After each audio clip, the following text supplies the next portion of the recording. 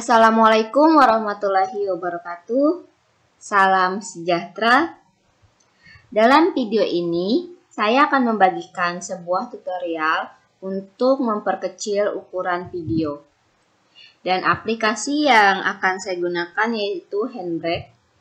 Kalian bisa lihat aplikasinya, nomor 2 dari bawah sebelah tengah, yang ada gambar nanasnya. Dan aplikasi ini sangat berguna karena kalian juga bisa mengecil, memperkecil ukuran video tanpa adanya kuota internet. Jadi dia bisa digunakan secara offline. Kalian buka aplikasinya. Setelah dibuka aplikasinya, kita tinggal memasukkan video yang ingin kita perkecil ukurannya. Kalian bisa pilih video yang kalian inginkan.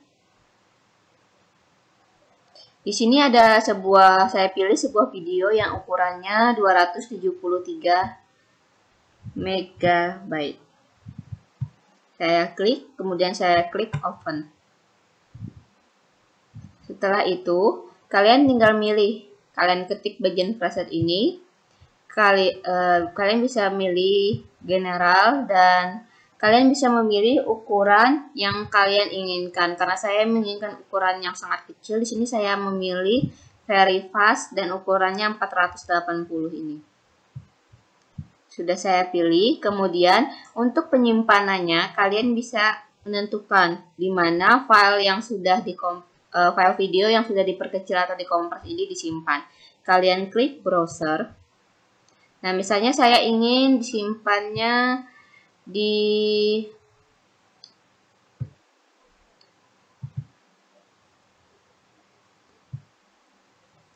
saya ingin tersimpan di sini misalnya. Dan saya kasih nama yang baru. Namanya bisa kalian edit. Uh, ini misalnya video oke kita save Tadi awalnya ukurannya ini kan sekitar 200-an MB. Setelah kalian memilih tempat penyimpanan yang kalian inginkan, kalian bisa mulai, yaitu dengan cara mengklik start. Dan begitu kalian klik start, kalian perhatikan di sini ada proses encodingnya. Kalian tinggal menunggu prosesnya sampai selesai.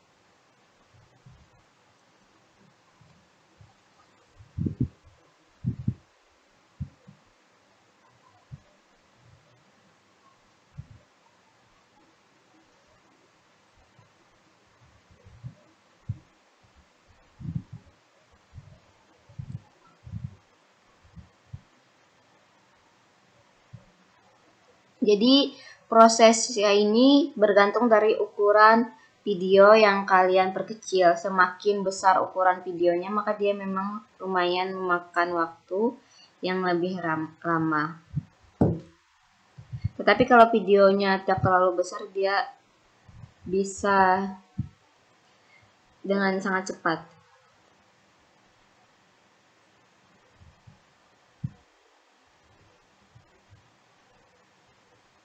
Keuntungan kalau kalian menggunakan handbrake ini selain dia bisa offline, kalian hemat kuota internet, eh, dia juga bisa mengecilkan video hingga berkali-kali lipat.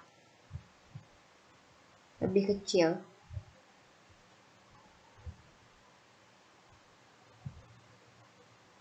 Prosesnya sudah sampai 40%.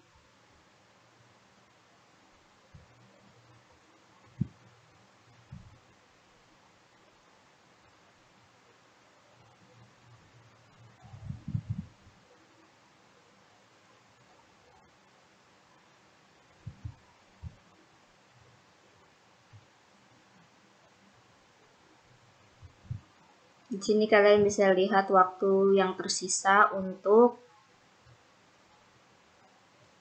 mengkompres video ini. Tinggal satu menit lagi.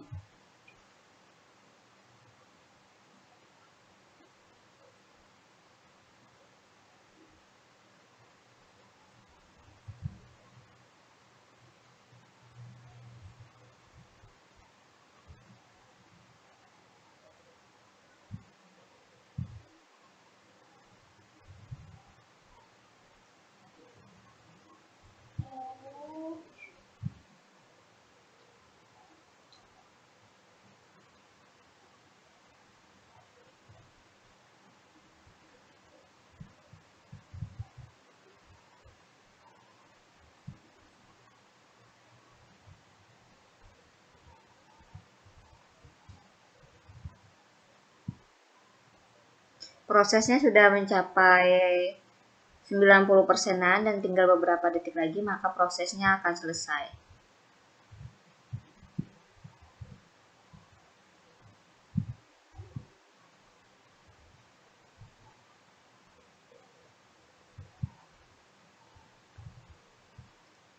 Prosesnya sudah selesai.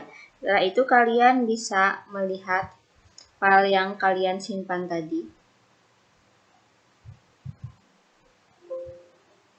Nah, ini. Dan kalian bisa lihat ukurannya di sini berubah menjadi 56,6 MB. Video awal tadi ukurannya sekitar 200 MB-an. Berarti kalian bisa memperkecilnya hingga seperempat dari ukuran asli dan itu sangat bagus atau sangat bermanfaat bagi yang ingin memperkecil ukuran videonya dan menghemat tempat penyimpanan atau menghemat memori penyimpanannya.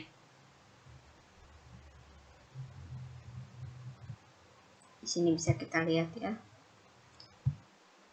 Demikian uh, video tutorial kali ini.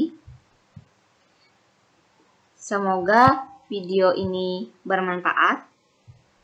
Saya akhiri dengan ucapan Wassalamualaikum warahmatullahi wabarakatuh.